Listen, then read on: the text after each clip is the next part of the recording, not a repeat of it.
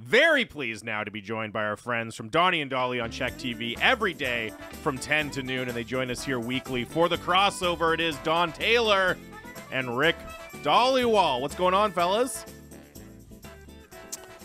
Well, uh, interesting game last night at uh, at, at, Rogers Arena. Canucks win, and Rick Tocchet wasn't all that happy afterwards. I kind of yeah. liked it. I loved it. He's not letting them get complacent. You got to love that from a coach he's honest, right? And you know, after the loss against the Rangers, yeah. had really good things to say after a loss, and then they win, and he's not as happy. And you, you I think fans right now feel like they can trust. They know he's going to be a straight shooter when he's talking about the team right now. Yeah, I, I, uh, um, Pettersson got three goals. I get it. He star of the game for a lot of people. I thought Tocchet post game was was the star. Just his honesty about how he liked the win, the one goal win against the Predators last week, much better than the three goal win uh, last night. Talking about how his team didn't play that all that well, but the importance of coming up with two points when you don't play all that well, and then you know justifying his benching of, of JT Miller. I thought he was I thought he was uh, great last night. Can I ask you a question, gentlemen? And I'll, I'll pose it to you both. I hope so. When you win a game like that as a team, right? There's sort of two ways to take it. One is, you know, they're not all going to be Mona Lisas, right? Good teams win the ugly game here and there, especially, you know, if they're going to keep like a five game um, unbeaten in regulation streak going. So that's one read. That's the optimistic read good teams win ugly games sometimes. That's what we saw last night. And and the other one is, yeah. you know, sometimes early in the season, a, a, hot team outperforms their their actual form, and a game like that might hint at, at the fact that these this early success is fleeting. What's your read? What which one of those two did we see? In previous years, uh, Thomas, I don't think they win that uh, that game last night. You know, uh, look at uh, Demko's numbers 936 save percentage, 1.91 goals against average. He's healthy. He's rested thanks to Casey DeSmith and the confidence the team has in him. They're not overplaying him, they're not behind in the standings. They don't have to overplay him. There's so many good things about the goaltending situation. Mm. Then I go to the confidence. When they gave up those two quick goals, Thomas, back to back 30 seconds, uh, that that was not great defending. There was a lot of reaching around, reaching in in, the new in, in, the slot, and it, it wasn't good puck management. There was a lot of things not going right, but they found a way to uh, win. Good teams do that. I don't think they win that game a year, year and a half, two, three years from now uh, ago. But I, last night, I'm just looking at the makeup of this team. I'm looking at a well coached team. I'm looking at a team that is getting rid of some of their bad habits from the past two or three years. And I see a team that is believing in their coach and doing what he is preaching. Yeah, it, it seems real. There was a stretch, I want to say in the third period, guys, like uh, a five, seven minute stretch where there wasn't a, a, a whistle. Yeah. And they, they seem fast. They seem faster mm. than they've been in, in, a long, long time. The other thing that makes me think it's real is because when Rick Tocchet first took over last season, he talked about this sort of thing that the mark of a good team is when you're not good, you end up with a point or two, and that was the case. It's something that he's preached, and you know something that they certainly did uh, last night. So that makes me think that there's there's something there's something here. I don't think it's a I don't think it was a one off the, the, the speed line's interesting because Andrew Brunette, Nashville Predators coach, at the morning skate yeah. on Tuesday, said that the Canucks were the fastest team the Predators had played in the early going. Um, not something we've heard a lot about this no. club in previous years. Yeah. Yeah, and that's you know maybe with Mikheyev not yet uh, one hundred percent. If that if that happens, then it, that speed goes up a notch. But just that that sequence there, uh, guys, and you can help me as to when it exactly happened. It was there was minor hockey last night. There was a lot of stuff, a lot of stuff going on in the Taylor household, Halloween, uh, you name it. But I just thought, man, they they look way faster than they were last year. I don't know if it was it, it was just me, but that's yeah, was, that, I didn't hear that from Andrew Brunette, but that's interesting maybe from around like 10 to 4 minutes left in the third period donnie i think is the, the sequence yeah. you were talking about you mentioned uh, rick tocchet one of the stars of the uh, of the night last night for his post-game comments also gets a lot of attention for a brief benching of JT Miller at the end of the second period. Only about four minutes, misses a power play shift, another shift of his regular line at five on five. Then he comes back out for the third, ends up scoring a goal. What did you make of how Rick Tocchet decided to handle that in game and what he had to say after the game as well? If you're going to say uh, in practice, remember Philadelphia, earn your F in ice time. If, if you know, it the hardest thing to do in hockey and all sports is treat everyone the same because there's guys making nine million, guys making one million, guys making five million. Everyone's got different rope to deal with. Uh, you know, some guys got a longer leash, some guys don't. If you're on the fourth line, you're very close to the press box. And if you're on the fourth line, you're very close to Abbotsford. And you know what? It's a different leash for different guys. But what he did last night was he sent a message to the rest of his team. I don't care who's making 9 million or 1 million that if if, if you're going to take that many undisciplined penalties, you're going to pay the price. He, I thought it was a great message.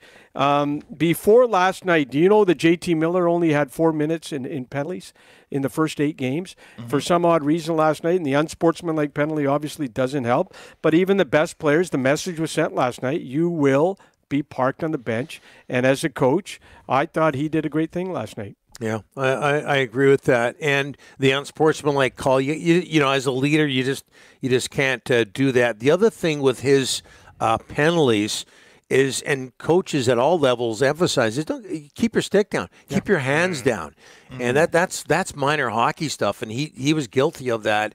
And Rick Tocchet let him let him know about that. And Rick just talked about talked about the uh, the message.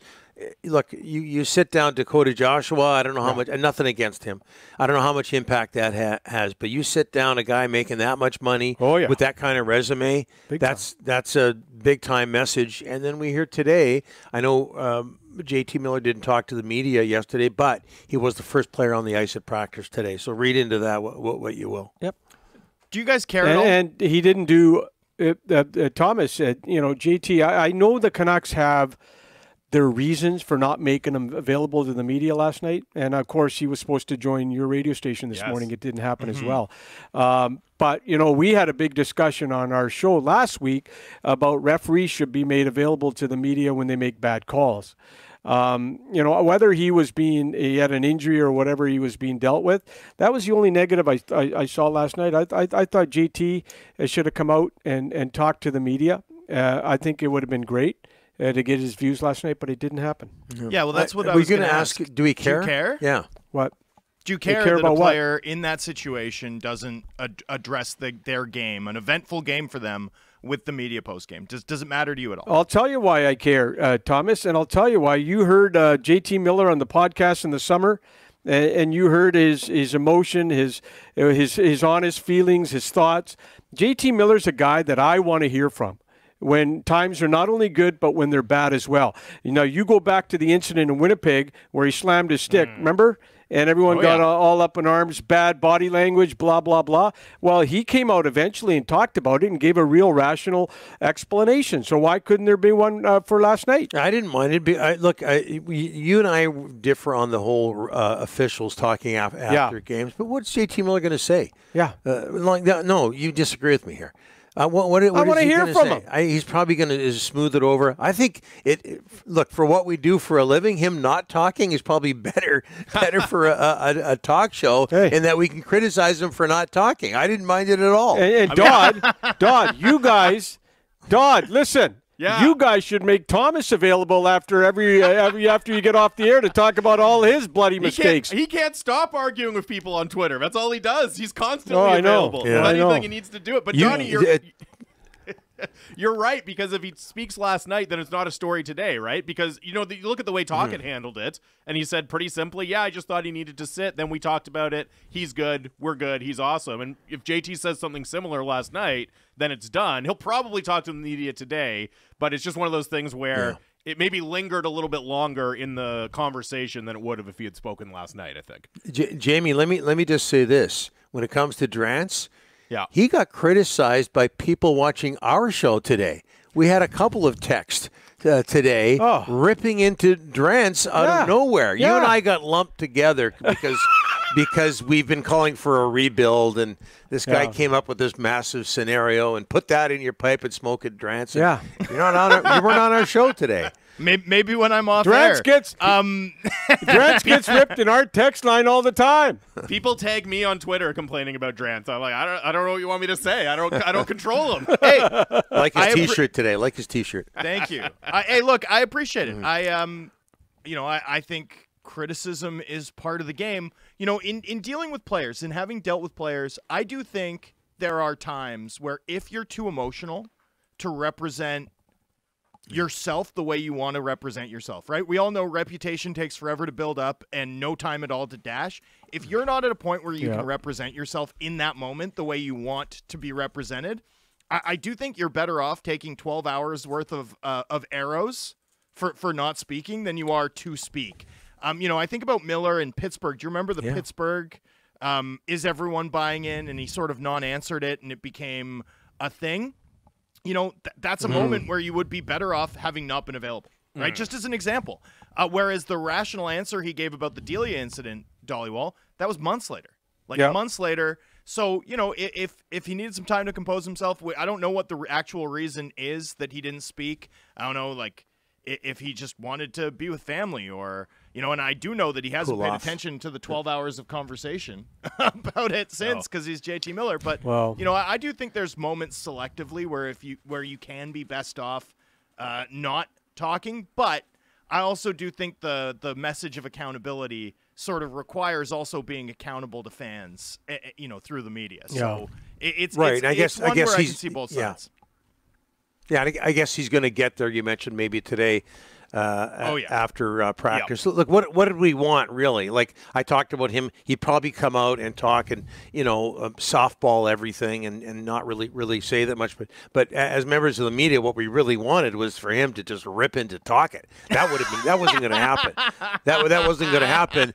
But maybe he maybe that's where he was going, and maybe that was a good idea to take that you know to take that break and not talk to the media. You, you know, you guys you've you've played sports, coach sports. In minor hockey, they have the 24 hour rule. Oh, yeah. Where if you're yeah. you're a parent and you're you're uh, you want to complain about your kid's ice time or something the coach did, give it 24 hours and then send, send your email. And maybe maybe that's where uh, JT is coming uh, from uh, right now. Little time to cool off and then talk and respect if that's the case, right? Yeah, yeah, makes sense. Yeah. Um, and by the way, that 24-hour rule never happens. It never works because in the 25th, well. yeah, yeah. Because in the 25th hour, they still send a seven page email. Not before that. yeah. Uh, what are the other stories from last night? Elias Pettersson, hat trick with the empty net goal. Uh, his first hat trick in a long time since his rookie year. Second in league scoring right now, uh, named the NHL's second star of the month.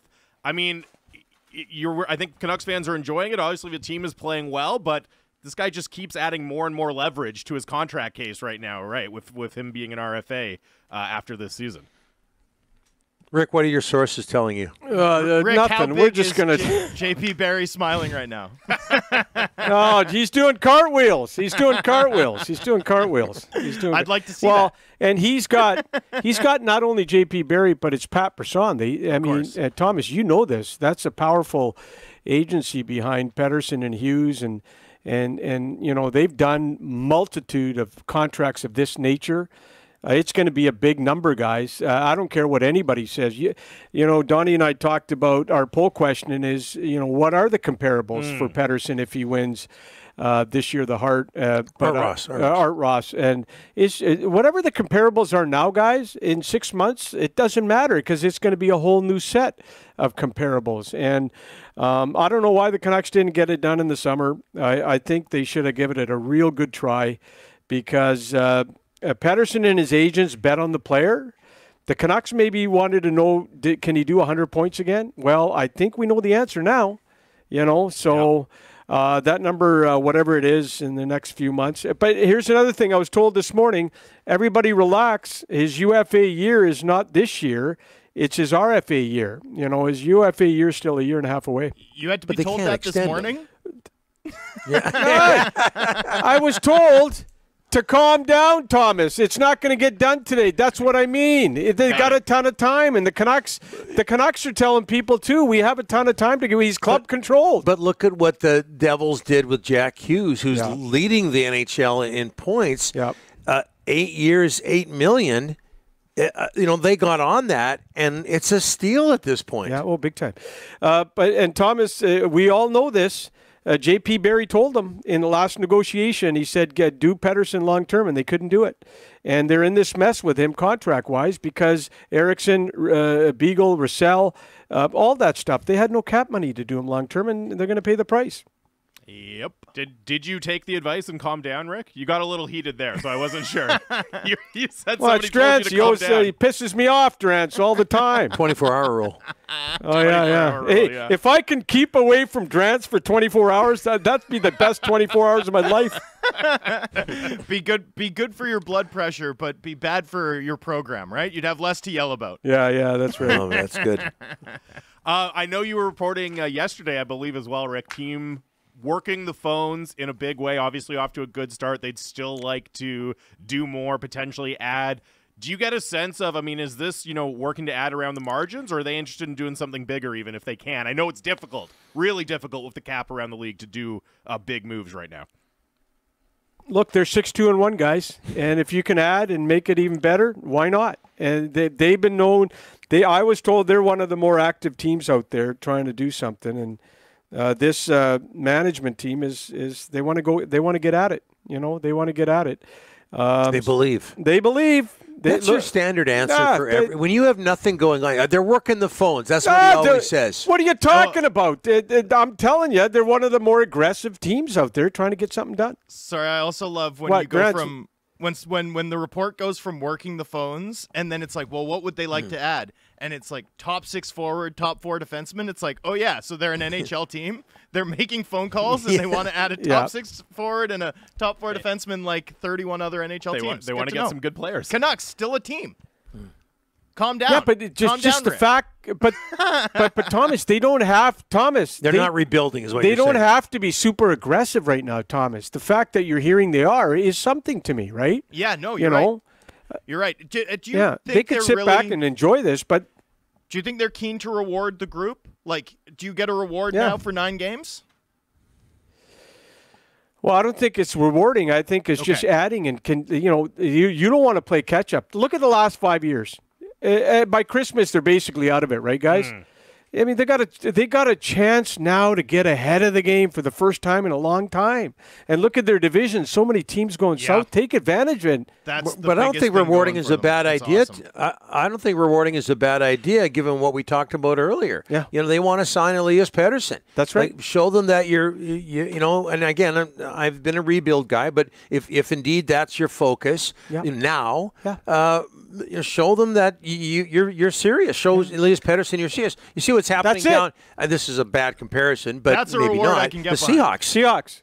The the Seahawks, right? The, the, you know what what they've done? Like they're yep. all of a sudden out of nowhere leading the NFC West. They just made a big trade with the Giants yeah, for a defensive they're, lineman. They're, they're they're rewarding their team. But they're fifty percent through their season. You know, I mean, yeah, it's one thing. Point. It's one thing to have played forty games and be like, we're gonna mm-hmm. trade a second and Madden for Tyler Toffoli. You know, like that's one thing. Mm-hmm. But to to do it after ten, you know, I, I think an extension, something like that, that makes sense to me. Something that's like we're in on this group, that makes sense to me.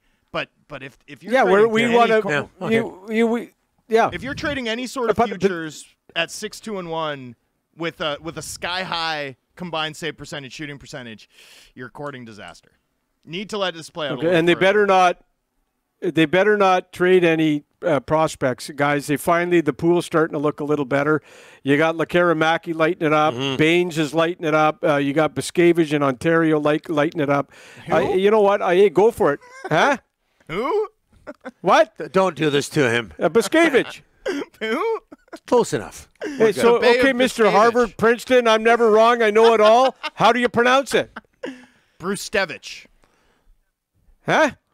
Brzustewicz. I, dude, you know I've what? I was getting Polish that wrong too. That, I'm I'm I'm ready oh, to go with that name. Okay. Yeah. Hey, I've, I've been saying Buchnevich and Taylor all week has been saying Buchnevich. Well, who is Drance right? Look at all the people criticizing ah, him. Come on. I talked to his coach, we, Mike McKenzie in Kitchener. Okay, well, we, I thought it was Buszkiewicz.